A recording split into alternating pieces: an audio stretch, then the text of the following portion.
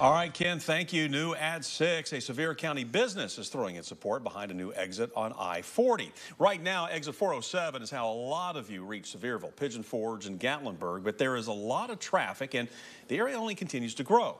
This is why some people are now looking to add a second exit one mile down the road at mile marker 408. KTOM backs this idea because the business says time is money and that when exit 407 has a lot of traffic, its shipments are slowed. In a letter to the governor, K. Tom writing that while it welcomes growth, traffic will only get worse after the new Buc-ee's opens. This is why it supports adding that second exit.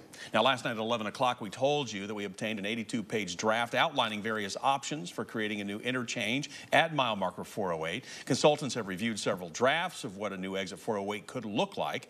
According to the report, the project is expected to be built out by 2027 if given the green light.